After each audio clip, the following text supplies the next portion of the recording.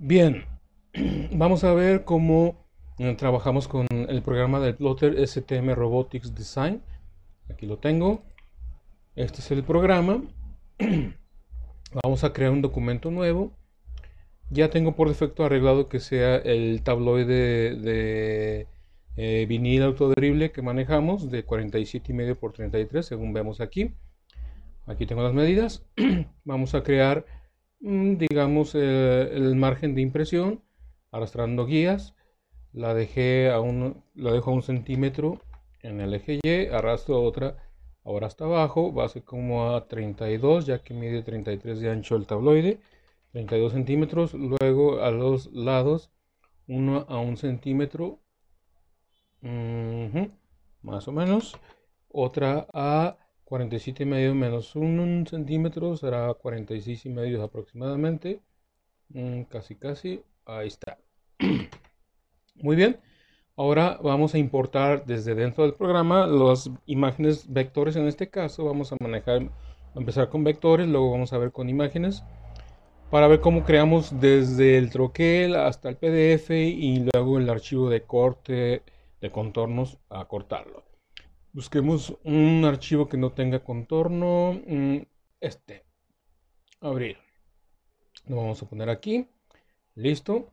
Podemos ampliar, podemos rotarlo según sea el caso. Ahí está. Muy bien. Ah, carguemos otro. Mm, control I. Y digamos que mm, cráneo Volkswagen. Veamos este. Lo ponemos aquí. Ah, no, ya tiene troquel. Olvidémonos de este. Importemos otro que no tenga para, pues para ejemplificar cómo precisamente eh, manejamos eh, el crear troquel con estas opciones. Muy bien. Vamos ahí. Vamos a ampliar un poco. Mm, nos vamos a separar un poco selecciono la otra, los voy a reducir un poco. voy a ampliar para que veamos exactamente qué vamos a hacer. Ahora pasamos al, al, asistente para crear nuestros contornos. Mm, ahí está. Estamos viendo que aparece solamente los objetos seleccionados. Nosotros queremos que tome como referencia todo nuestro tabloide, así que ponemos marcas de página. Ahí está. vamos a exportar como PDF eh, la imagen. Aquí, aquí tenemos selecciones, crear PDF, guardar como imagen, TIFF eh, o JPEG, PNG. Mm, vamos a titularla como 2. Ok. Luego vamos a pulsar aquí construir. Vamos a construir los eh, contornos para troquel, ya sea en porcentajes o en fracciones de centímetros. Eh, busquemos que agilicemos el trabajo al plotter, no dejando rincones agudos como estos, para que no haya tanto problema con el vinil a la hora que lo esté cortando. Así es que, pues lo dejamos más o menos así. Ah, le damos a, puede ser que cortemos como cuadrado o, este, o al contorno. Muy bien. Ahí está. Listo. Y guardamos el PDF. Le vamos a dar un nombre. 2 precisamente. Lo vamos a guardar en el escritorio. Y ahí tenemos el hipotético PDF que vamos a enviar a imprimir. Eh, con las marcas de registro como vemos aquí. Obviamente vamos a tener cuidado de que estos registros alcancen a ser impresos en el rango de impresión de la de allá donde sea que nos imprimen. Así que en teoría esto debería estar un poco más reducido para que eh, queden las marcas a, alcancen a imprimirse. Bien, ahí está. Luego procedemos ya una vez que ya tenemos el vinil impreso. Eh, ya, aquí ya en nuestras manos lo montamos en el plotter, lo alineamos más o menos y procedemos a con el botón de cortado. Ahí está. Ahora, aquí nos pide, eh, va a, que lo alineemos con los cuatro puntos con los que se imprimió. Así que Aquí podemos girar el trabajo como más nos plazca. No tiene tanta relevancia porque pues, en realidad lo que va a hacer es tomar los registros, los números guías. Así es que pues, siempre una es la guía base, entonces no importa en la, orientación. Vamos a dejarlo así. Y pulsamos siguiente. vemos que se escuchó el plotter. Estaba acá, se recorrió ahí porque el punto de inicio o para empezar a, a, calibrar es aquí ahora, ya que rotamos el lienzo. Aquí podemos eh, mover el, cabezal de la, cortadora eh, con estas flechas, ya sea con en rangos de 10 eh, milímetros, 1 milímetro o fracciones de milímetro. Esto es para que sea más preciso. Supongamos que lo queremos alinear ahí, pues le damos a que, ¿sabes qué? Que sea ahí mm, un poco más o un poco menos, según sea el caso.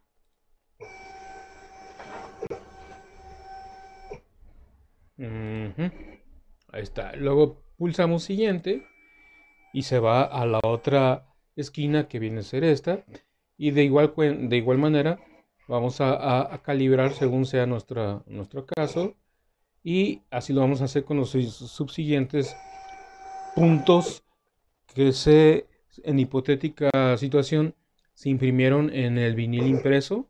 Vamos a suponer que este es nuestro vinil impreso ahí está volvemos a pulsar siguiente y se pasa a este otro punto y le damos también igual.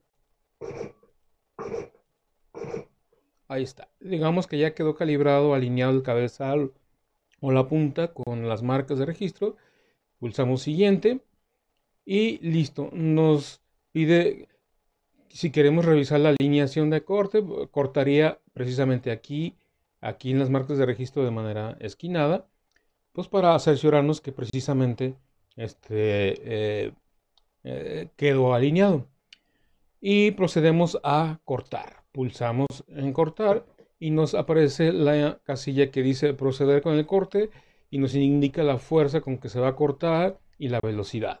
Si estamos de acuerdo, damos OK y empieza a registrar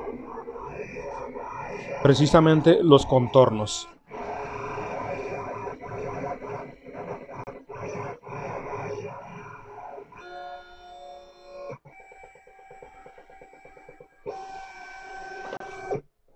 Bien, esa es la manera de mm, cargar, en crear la, la, mesa de trabajo, cargar nuestras imágenes, eh, crear sus contornos de troquel, alinearlos, eh, obviamente mandarlo en PDF para imprimirlo y luego ya una vez que esté aquí lo traemos, lo montamos, utilizamos las marcas de corte que se imprimieron y listo esto habrá quedado para mm, mm,